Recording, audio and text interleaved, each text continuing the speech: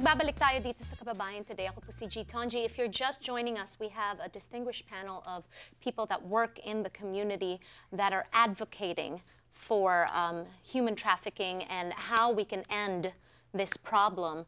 Uh, it's a very big problem. It affects our community. It affects our loved ones. And we need to talk about this. So, kasama natin, pag-usapan natin, uh, Kuya Lester, sa tingin nyo bilang isang Pilipino, ano ba ang mga kondisyon, uh, bakit umabot sa ganitong sitwasyon ni Mary Jane? Alam mo, si Mary Jane, isa lang siya sa almost 6,000 Pilipino na umalis sa bansa kada araw. Kada araw, Yeah. 6,000 Filipinos. Dahil sa kahirapan at sa kawalan ng trabaho sa Pilipinas. At yung gobyerno ng Pilipinas may pakinabang siya sa mga sa tax ng remittance galing sa mga overseas Filipino worker. Oo nga naman. Mm. Um, Yung ating ekonomiya sa Pilipinas ay napakaganda dahil sa lahat ng mga OFW na nagpapadala araw-araw ng pera sa kanilang mga kababayan. Ito yung tinatawag nilang labor export policy. Ini-encourage ng gobyerno ang mga Pilipino na magtrabaho sa abroad. Pero ah, wala naman natatanggap na assistant o suporta mga OFW galing sa gobyerno. Sa Ayun. katunayan, yung halos lahat ng member ng uh, migrante sa Southern California ay biktima ng human trafficking. So nakaranas sila ng mga abuso galing sa mga employer nila. And the same time, yung hirap at lungkot na malayo sa pamilya.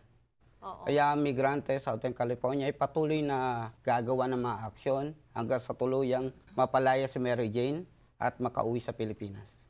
Mm-mm. Kuya Lester, mahirap no? Kasi ang hirap tanggapin na the biggest export of the Philippine Islands is its people. Yeah.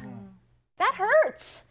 And I mean, I grew up in the Philippines. My family is still in the Philippines, but I left the Philippines because Yeah. just you know, at kung nasa ma- maraming level 'yan, 'di ba? But um when you think of the fact that in the Philippines, if you are born and raised there, you have no chance to get out of that Yeah. situation of or that poverty unless umalis ka, maging katulong ka, maging, 'di ba, domestic helper ka, lahat gagawin mo para lang mabigyan mo yung pamilya mo ng mas magandang kinabukasan. Tapos ang nangyari, pag alis, nandiyan yung nangyari for contemplation. Ito si Mary Jane. Asa narinig natin, dami mga Pilipino na abuso, na Ayun sa ano.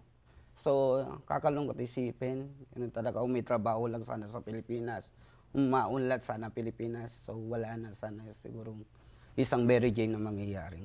Kuya Lester, ah, yung, yung sinasabi mo, tumatama talaga sa akin, no? I can really feel uh, your heartache because, you know, it's sad. It really is sad. All of us kababayans here, our relatives, our family members had to leave our homeland because of an... Wala, walang-wala tayo doon. At miski ngang meron na nga eh, umaalis pa rin.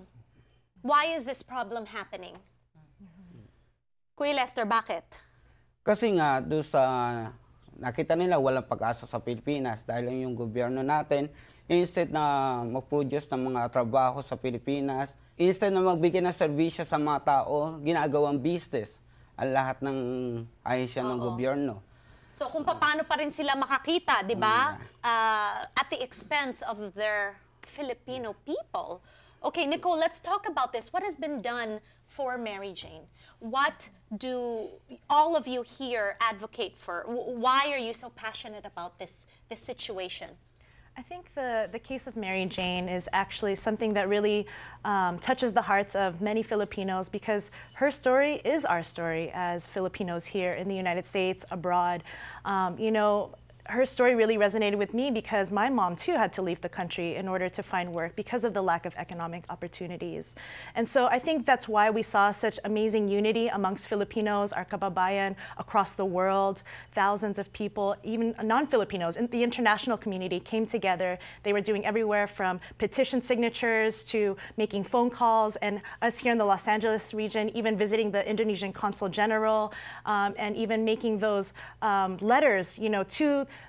to really appeal for her clemency, to really appeal to save her life. And I think that's what really saved Mary Jane is the fact that there was people power behind her. And I think that was the most inspiring thing about her story was that, you know, her family had, had struggled to go to the Department of Foreign Affairs to ask for their assistance, but for five years they were neglected. For five years there weren't answers. And for five years there wasn't that assistance that was necessary. And so that's why uh, the family had to turn to Migrante International. They had to turn to people's organizations such as Bayan to really advocate on their behalf and stand shoulder to shoulder with them. And what we saw was this, this beautiful organizing that was happening worldwide uh, that really captured the minds and hearts and the attention of even the Philippine, Filipino president and the Indonesian president to say, wow, we really need to pay attention to this issue. And in fact, you know, Mary Jane is a victim in this scenario. But unfortunately, like what Kuya Lester had mentioned before, uh, the fact that they continue this labor export policy, particularly President Aquino, who has been advocating for it, who's been advocating for PDAF, uh, even his own pork barrel. These are things that are really upsetting for us because, you know, it really shows that he doesn't have a genuine concern for the welfare of overseas Filipino workers. If you continue policies that force people to move abroad instead of creating jobs back home, what other options do Filipinos have but to really be torn apart from their families, to have a phone relationship with their families, uh, and also be vulnerable to trafficking schemes such as this? And so our concern is that uh, instead of taking credit of, for the the victory of saving, um, you know, Mary Jane's life, I think that the Filipino president, President Aquino, should really be uh, challenged to really uh, end this labor export policy and really focus on creating jobs for our kababayan. All right. Thank you, Nikole. Pagbalik natin, kausap naman natin si Deaconessa and we're going to get to the bottom of this issue. Here on Kababayan Today, we'll be right back.